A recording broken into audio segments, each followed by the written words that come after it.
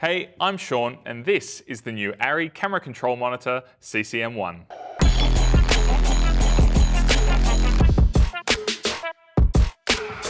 The CCM1 is a 7-inch 1300 nit monitor capable of full camera control on the Alexa Mini LF as well as on the Alexa 35 just using the viewfinder connector.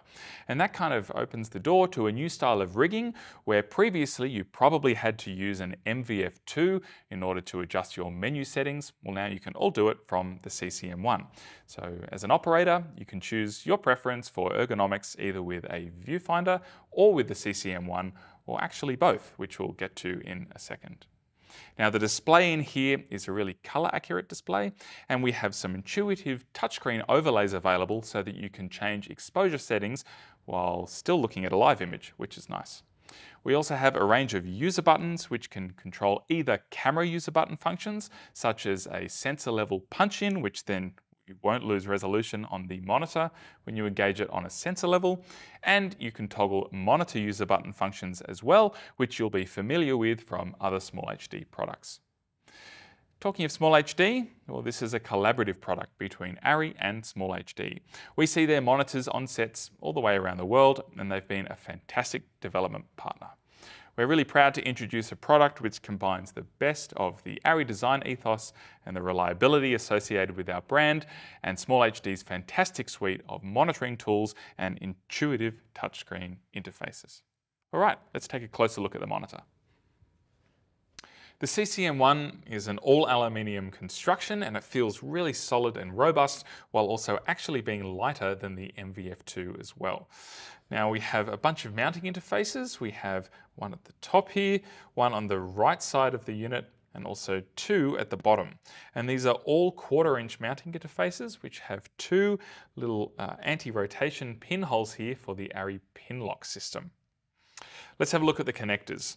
So on the left-hand side of the rear of the unit, we have the VF connector and the power in connector. And these are both located here because they're actually probably closest to where they will be when you have the uh, camera mounted, uh, the monitor mounted to a camera. They'll be closest to that input on the back right-hand side of the camera.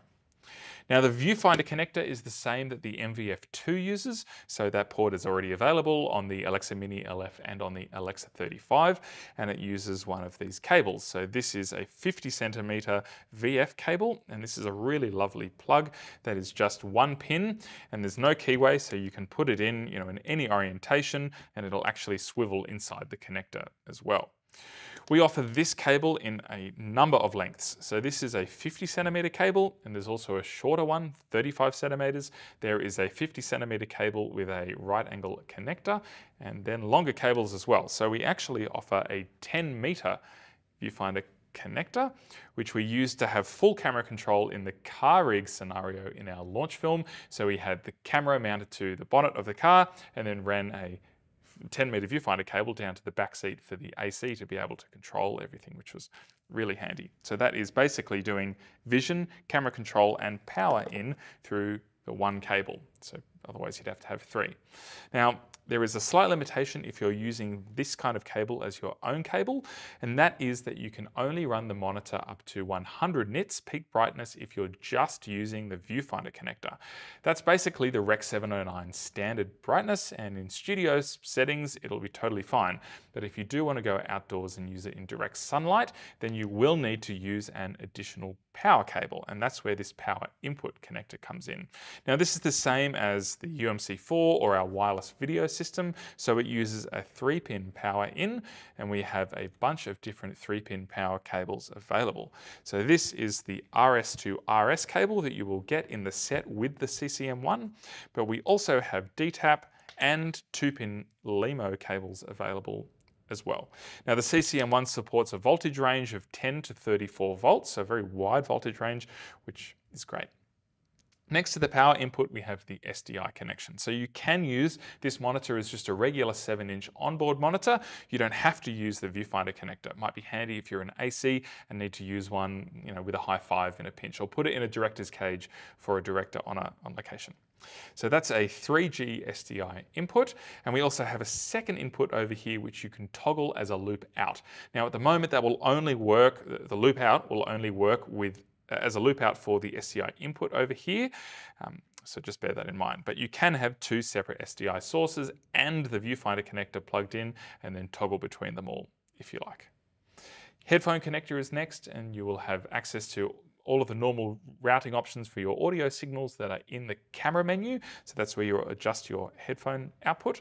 And then next to it, we have a new connector. Now this is USB on a five pin LEMO connector, and there will be a USB to ethernet adapter available for situations where you would want to use the CCM1 on an Alexa Mini LF, and you also have an MVF2 viewfinder connected because there's only one viewfinder connector on that camera, but in that case, you could use the USB with ethernet and power and SDI in to give you access to some camera control functionality, mainly the status components overlay with the interactivity there that we'll get to in a second. The other connector on the back here is under this rubber flap. At the top of the monitor, you'll find a USB-C connector. And this cavity has been designed so that you can leave the USB drive that you get with an Alexa 35, so that's USB and USB-A. It will sit in there while the rubber cover is closed and keep it nice and safe and sound. So you can use that for updating the device as well as storing frame grabs and importing a number of things like look files or frame lines.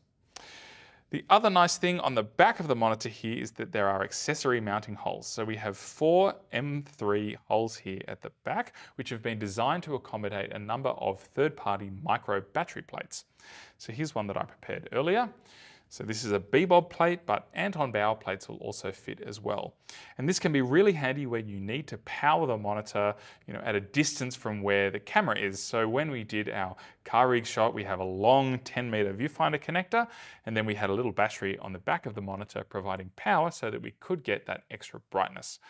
And that just attaches there. You can use, say, a DTAP to RSN power cable with that little battery plate. Now at the top of the monitor on the backside still we have our power button and then we also have a back button and a joystick next to that. Now you can use the joystick and the back button to interact with all of the menus of the CCM1 or you can use touchscreen. There's no compromise between using touch or the joystick. Just below that we have a little lock button and this will lock all control inputs. So it will lock the touchscreen, it will lock the clickable joystick, and it will lock the user buttons, which are on the side here. Now these are on the left side of the CCM1 so that they're you know, quite ergonomic to adjust when you have the, you're standing on the left side of the camera, obviously, you use your left hand on the monitor. We have a dedicated M button for the camera menu, and then we have user buttons one, two, and three, and four, which can be user defined either in the camera or on the monitor itself. And to show you how you do that, we better go put it on a camera. All right, let's attach it to a camera. Now to do that, we've got this new monitor arm. This is the Mac 1 or monitor arm for camera. And it attaches to my top handle with a 3 8 inch screw, which of course has those standard ARRI pin locks for non-rotation here, so it won't undo by itself. Now the pin lock system is also featured up the top here, where we have a quarter inch screw, and pin lock on quarter inch, well that's kind of new, and that's because we've just released a new standard for pin lock on both sizes of screws that we normally use in the camera department, and that standard is freely available to other accessory manufacturers as we would love to see everyone adopt one system for that. I think it'll really help out with interoperability between camera accessories. Now the Mac one's pretty cool. So it's a two axis monitor arm, which means that I have adjustment over tilt and I have adjustment over pan. I don't get rotation you know, in this axis, but that's kind of okay because you don't really want the monitor to have a different level of horizon to your camera sensor. So it's two axis. And as you might have just noticed, you can adjust the whole thing with one hand and it will sit where you leave it because it uses a friction-based system and I have these two little knobs here for adjusting that so I can find a nice level of friction and then it will stay wherever I leave it. That's a lot easier than some other monitor arms, especially if you're trying to adjust it by yourself in handheld mode, you know, you end up looking like this and it's really awkward. So the Mac one is really nice. Let's plug it in. So we need a viewfinder connector, and that will be, of course, this standard yellow cable here. Again, if you haven't used the viewfinder connector before, it's fantastic. There's no keyway, it's just one pin. You can even rotate the cable in the socket, really easy to connect. Now that will give me 100 nits of brightness. And if I want a brighter image, well, I have to also use a second cable. So here I have my RS to RS cable, which plugs in next to the viewfinder connector. And again, there are a lot of different kinds of RS power cables available. So this gives me a nice 1300 nits of brightness, which is great for operating in sunlight. It's definitely a daylight viewable monitor. Now, it's not an HDR monitor, it's just a very bright SDR monitor. And if you need HDR monitoring on set, then I highly recommend checking out the MVF2 as it's set up for that and it's a really accurate HDR monitor and a reliable and trustworthy tool. Now, reliable and trustworthy is kind of important. I think that's something that cinematographers have definitely come to expect from our monitoring devices. And I think the same is of the CCM1. We have custom ARRI color management going on for this device. And I really think you'll like it when you get to try it out. All right, next. Let's say that you're outside and it's really bright and maybe it's just a bit too bright, it's really glary, you're in the middle of the outback perhaps, well, you need a sun hood. And this little guy is pretty cool. So this is our new sun hood and all it does to attach is I slip it over the back there and clip at the bottom. No Velcros or straps or anything like that. And as you can see here, it's kind of like an iPad. So we have these little kind of levered leatherette finish outside parts. They're kind of both soft and stiff at the same time. And if I swing out my little side flaps here, you'll hear that they snap together with magnets. And then I have this little locking bit that goes underneath. So this is a nice, you know, solid and secure sun hood, which I think is pretty cool. Inside we have a microfiber lining to stop glare and reflections and also of course that's the bit that sits on top of the monitor so it will keep it safe. And talking about keeping it safe, well of course this is a great little way to close your monitor very quickly if you need to stuff it into an onset bag or even if it's just sitting against the top handle here. For more protection, well, the CCM1 ships with a screen protector, and we have packs of three available of those screen protectors should you need to replace one down the line. On top of that, you also get this little pouch, which has been designed so that it will sit over the monitor with the Mac one and the cables attached so that you can put it like this if you need to quickly change locations. Well, what else do you get? So you get a 50 centimeter viewfinder cable. You get an RS to RS power cable. You of course get the monitor, the Mac one, the screen protector, the sun hood, and the pouch all available in one set for you to purchase. One other little thing, you might have noticed that these are not the usual Mini LF accessories. And this is of course the lightweight camera handle that we introduced with the Alexa 35 and we've now made that work with the Mini LF thanks to the new MAP 4 plate. I also have a CSP2 on the bottom here and that is also an Alexa 35 plate. So now all of the base plates for the Alexa 35 will work with the Mini LF thanks to the Bud 3 down here. And we have a whole nother tech talk on those new accessories for the Mini LF, so go and check it out. All right, let's have a look at the Alexa 35. CCM1 on an Alexa 35. Now when we launched this camera, a few people asked us what the second viewfinder connector was for. And while I can plug the MVF2 into either connector, which certainly helps in some rigging scenarios, it wasn't actually designed with two viewfinders in mind. Instead, it was designed for the CCM1. And the real benefit of that, apart from getting to use this wonderful monitor, is that when I have the viewfinder connector here plugged into the CCM1, I'm no longer using an SDI output for my onboard, onboard monitor. So now I have two 12G SDI outputs that can be used for transmitters or other monitors or whatever you like. Now I'm going to run you through a bit of the software here and show you how the camera control side of things works. To do that I'm just going to pull off the sun hood which you do by unclipping the two bottom corners here and then lifting off. And here we have the live image. And this is very similar to what you would find on a normal SDI monitor, only that now the status components, which are around the display, or the top line of those, they're now interactive. So I can click on my white balance indicator, for example, and then I'll get a list on the right-hand side where I can choose from a new white balance value and then press set. And the benefit of that is that I can now see the live image changing in real time, which you can't really do with the flip out display on the MVF2.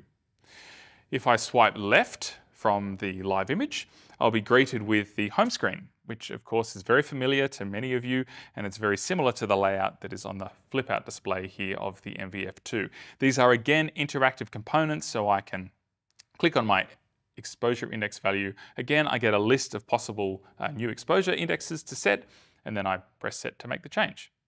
Now, the other nice thing which we have on this uh, home screen here is that it will give you an indicator of what the user buttons are set to. If you swipe left from the home screen, it'll take you to the Small HD menu, which is where you can set up the monitor and select your inputs and also change the monitor brightness amongst a whole bunch of other settings. And they're basically the three default home screens that you have. So you have the small HD menu, and then you have the home screen, and then you have the live image display with those interactive status components. If you swipe to the right once more, you'll be greeted with the traditional Small HD Page Builder OS. And that's where you can basically take any live image and customize it with a variety of monitoring tools. You add those by tapping on the screen and pressing the plus button there at the top left. So things like a vector scope or peaking, you can do whatever you like, and it's pretty much exactly the same as you would find it on other flagship Small HD products. Now, if you swipe down, you'll be taken into a screen where you can see all of those pages and there is a little playback icon in the top center of the display. So here I get my full playback controls down the bottom. I also get some playback options and I get a clip list which is nice. So the clip list will show me obviously all the clips on my card, including a bit of metadata, which can be helpful to identify the one that you'd like to play back. And when you're finished in playback, you can close playback at the bottom left, which will take you back to the pages overview. Now, what about the camera menu? Well, we have a dedicated hardware button for the camera menu, which is this top button on the left-hand side, just above the user buttons. And it will be quite familiar to those of you who've used a Mini or an Amira before, because it's the same style of M button. And when you press that, well, you're greeted with the standard camera menu. Now I can interact with the menu here with touch, or I can scroll through with the joystick on the back. And let's say I want to set up a user button. Well, I can click through with the joystick and you'll notice that there is a new monitor user buttons section of the user buttons menu.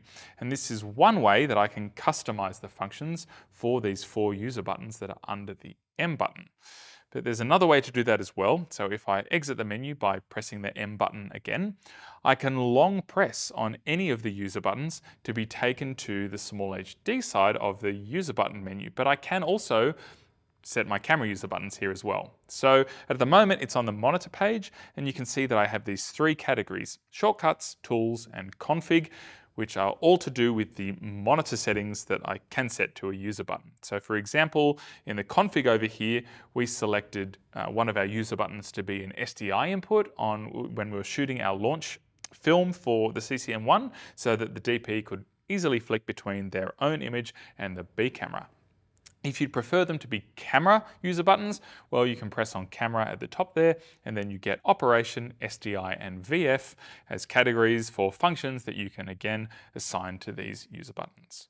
One thing to mention is firmware. So the Alexa 35 and the Alexa Mini LF will both require software updates in order to support the CCM1, and the Alexa 35 will come a little bit earlier than the Alexa Mini LF, but both will be very close to the launch of this product.